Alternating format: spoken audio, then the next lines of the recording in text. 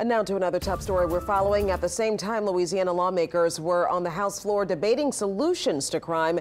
During a special session, New Orleans police were investigating two murders. More than 20 bills have already been considered. Amelia Strahan was in Baton Rouge today with a look at what was discussed.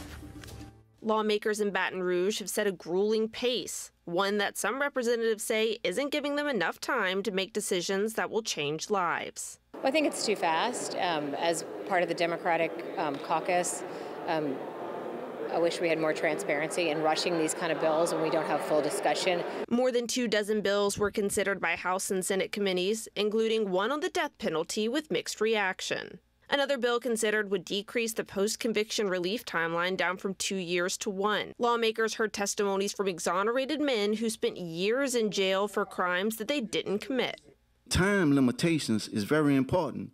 I stayed in prison 36 years, and two years after being convicted, I presented this evidence that showed that I could not have been a perpetrator of this crime. But it didn't seem to make a difference. The bill was approved and sent to the full House. Representative Laurie Schlegel from Metairie brought two bills to the table.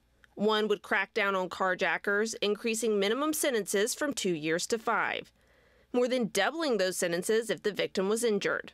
It's just one of those crimes that are very traumatic um, and has a, a, a, huge increased risk for the victim. So we want to make sure we, we deter this crime. If passed, Schlegel's second bill would put fentanyl dealers behind bars for up to 99 years if they sell products that appeal to minors. Both bills advanced to the House. In Baton Rouge, Amelia Strahan, WWL Louisiana. Tomorrow, the Criminal Justice Committee is expected to consider a bill eliminating parole eligibility for crimes committed by an adult.